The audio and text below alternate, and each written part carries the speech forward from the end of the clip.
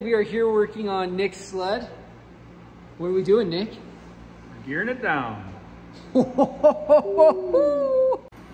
So the purpose of the gear down set is you lose a little top end speed, but you get more torque, you get more throttle response. So when you're riding in the trees and you want more torque, more throttle, this is the way to go. Step one is we are going to take the muffler off. This is easy. Um, there's two little clips here and here uh, to take this heat shroud, I guess it is, off. And then there are two springs, and we have a spring puller we'll show you. And then one thing you got to look out for is there's this little bolt back here, or this sensor going into your can. So you want to take that out.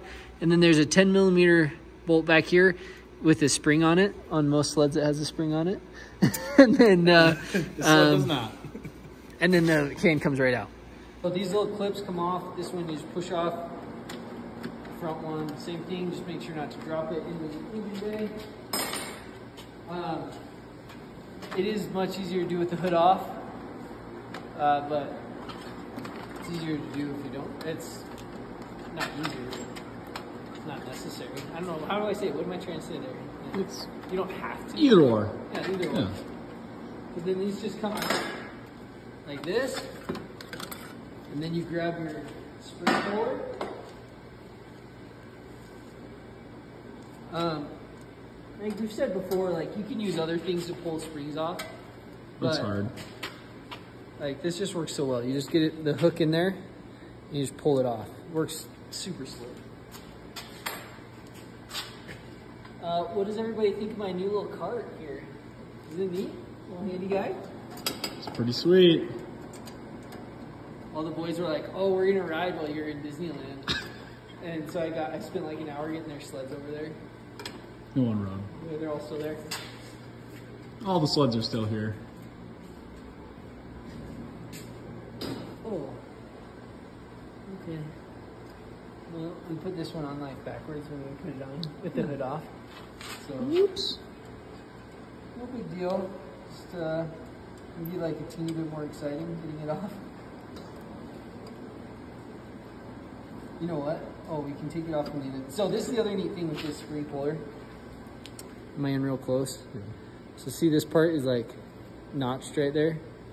You can push on stuff. You can get on the inside of the spring. Get on the inside of the spring and push it like that. And get it off.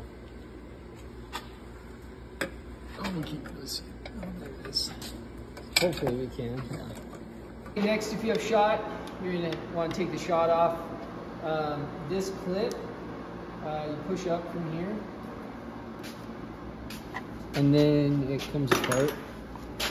Should come apart. Okay, so I had to push down in this little slot right here because this little red clip has a little barb on it that didn't want to come out before. So this thing comes all the way out. So that's pretty neat. If you didn't know that, I didn't. I didn't know that. And then still doesn't want to come apart.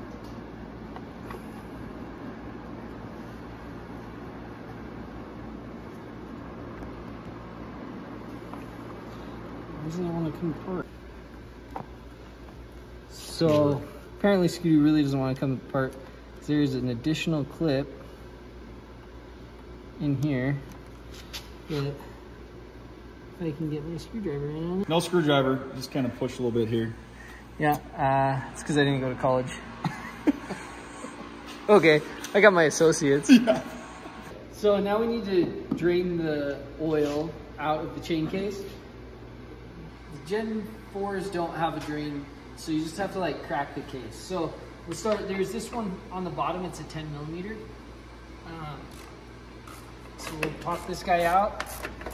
Um, so one thing I really want to warn you about, these Torx are all the same going around here. This one is bigger, and I for sure stripped one out once. So don't don't do that. Not this one. I didn't. I didn't. Not this Not one. this one. Different sled. Different sled. My sled. When I was putting the belt drive on, so I was like, ah, it doesn't really matter. Oil. It smells so bad. Really? gear case. Not, it's just all of it in general. So, um, Do we not use the impact on this? can I just didn't Oh. get the right side. I'm just gonna break these. I mean, honestly, put them on. You know, one. I'm also just gonna take them off like.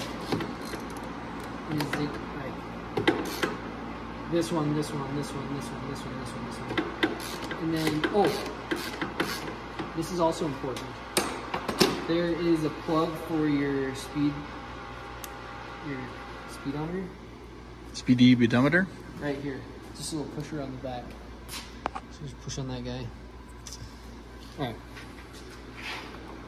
Let's go ahead and break these loose.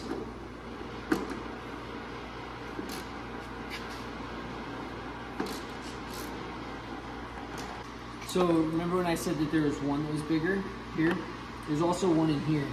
So like just just to be safe, like always just put the socket in or the Torx in and just kind of wiggle it around. Cause this one, like you put it in and it kind of feels like it, but like see how much it's moving compared to this one? Like doesn't move much at all. So yeah, just remember that. Also this bolt here that we're gonna take out too. That And I think that's probably a 10. You may be asking yourself, what is this? So this is the this is the breather. Also, it's where you fill it, the oil in. So just take a screwdriver, just kind of push it in and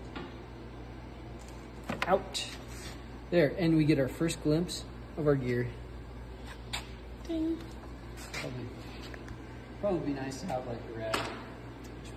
Should probably go with it. Right, so now we have our chain case, all the bolts off, and it's just kind of like wiggling it to get it out because you have to get it past this.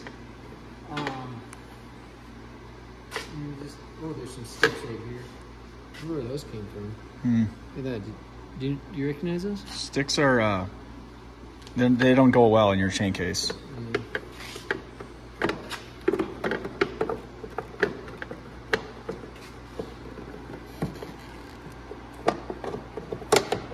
Nick was out riding, and like got a bunch of water and snow or snow and stuff down here. So it froze, and now it's not letting the drain hole go. so we have a nice puddle of. that it won't be a problem. We'll poke it out once we get that part. We got the chain case off, uh, the cover off, so you can kind of see we cleaned everything up because you want to get the residue stuff off. Um, now we're gonna loosen the the belt or the chain, not the belt. So there's a little pin here. Take the cotter key out. It's back here, and then there is this little thing. the The tool that's in your for your clutch. Oh, see, we're tightening it. That was a silly move. Oh, no, wait, that loosened it. So now we're loosening it, and I started it. Yeah. Um, That's. Was that tightening it? Yeah. Oh, I was doing it. What a silly goose. Yeah, no, that's loosen. So now, because I mean, if you're just changing your chain case oil, you, you don't need to do this. I mean, you, you want to check it and make sure it's tight, or not too tight, but you want to make sure that it's um,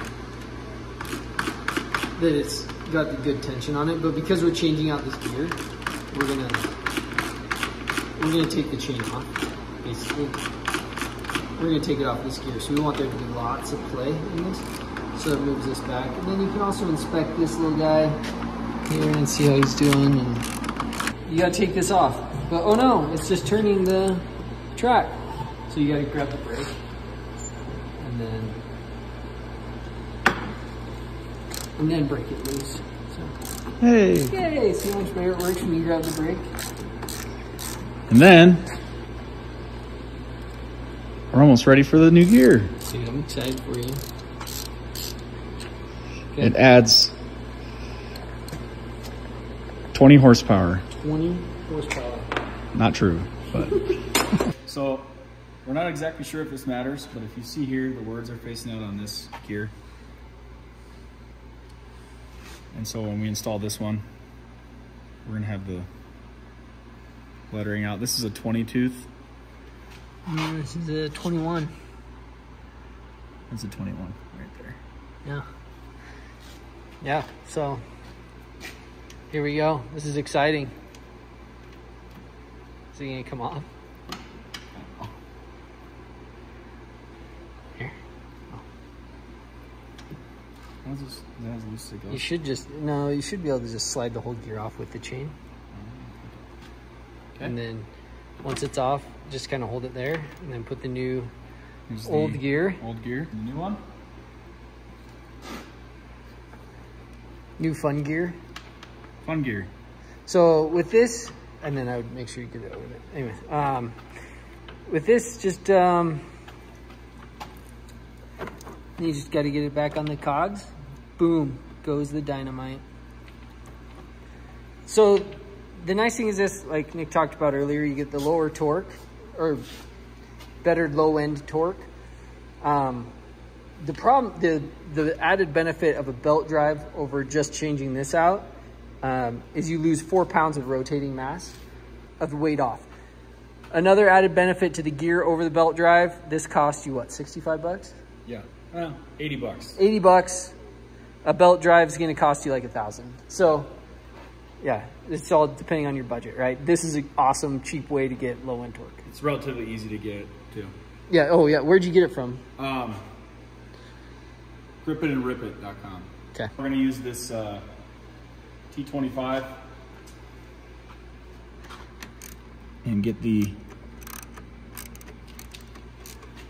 spring, sorry, not the spring, the chain tightened. This One thing we also have not done yet is secured the gear. Oh yeah. We Well, probably yeah. don't want to forget that. Yeah, maybe let's do that right now. Yeah. And then we'll, we're also gonna put Loctite on that, so. Okay, so again, I put Loctite on there, um, holding the brake, and then.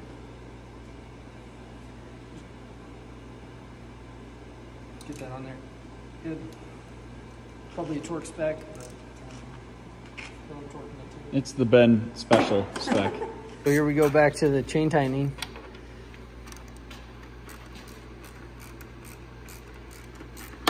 It's a smaller gear, so it's gonna it's gonna tighten more because there's not as much gear. So you don't want it like super tight. Probably right in there is really good. So you don't want it to slap your case, but you don't want it so tight that it binds up.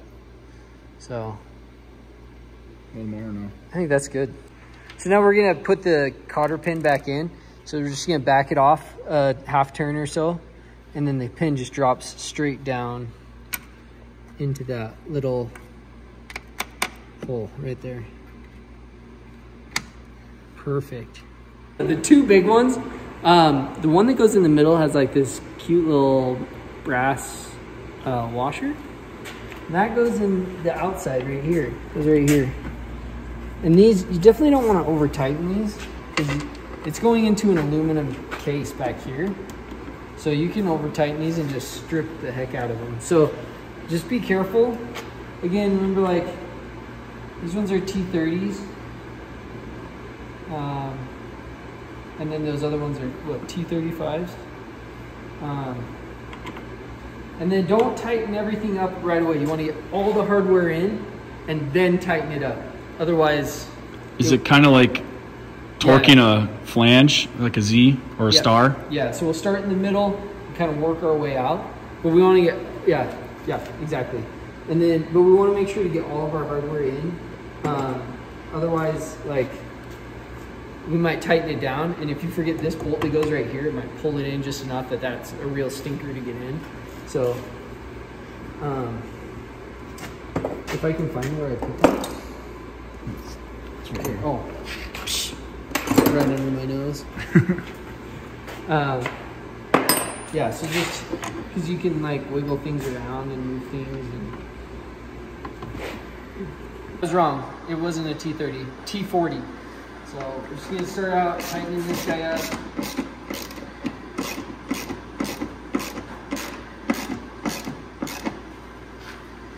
So that's the center one. Yep. Now he's gonna do the other big T40. Yeah. And then I'll come over here. And these are T T30. 30. Switch to that. He's not really over tightening it either. Yeah, I, I might go through and just double check how snug they are because as we put the case on, like these ones might loosen up as we tighten these other ones. So, um, but yeah, least right now we're just kind of snugging them and then we'll go back through.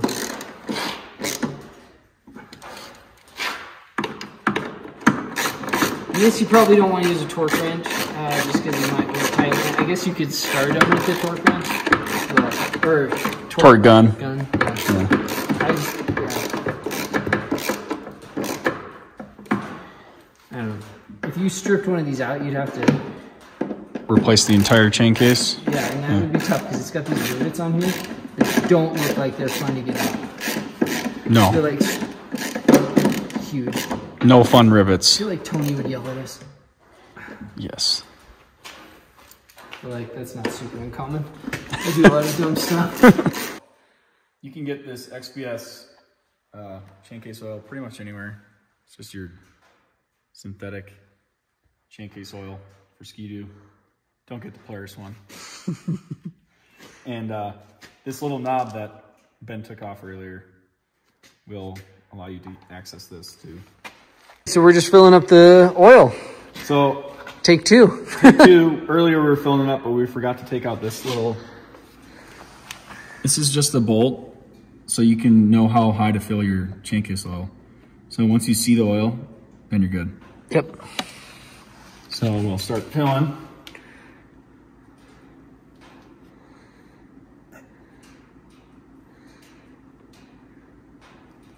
No, that's all of it. We went through one bottle. We thought it only takes one, so we're gonna see how much it takes.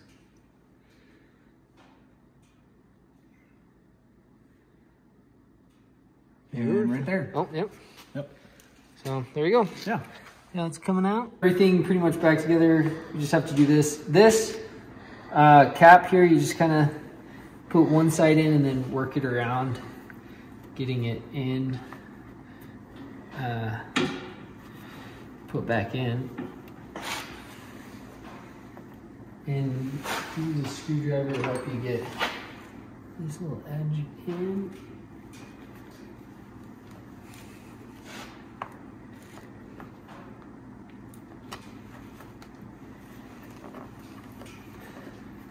Yeah, so that's in. Then, oh, don't forget to click your speed Speedometer. speedometer. Why can't I remember that name? Speedometer. Click that in. Tighten this bolt. Yes, tighten that bolt. Glad you remembered that. Mm-hmm. That would have been embarrassing. Where's our 10 millimeter? Right here. So we have everything back together. Chain case is on. Cans back in. We put the sensor back in. We plug this back together. Make sure to put that clip back in. I don't think you have to take it all the way out. After further review of putting it back together, and Nick teaching me about the uh, clip there in the thumb. Um, so yeah, just uh, good time. So this thing's ready to go. Nick will give us a review this weekend. He's riding. Uh, what he thinks about the chain case. So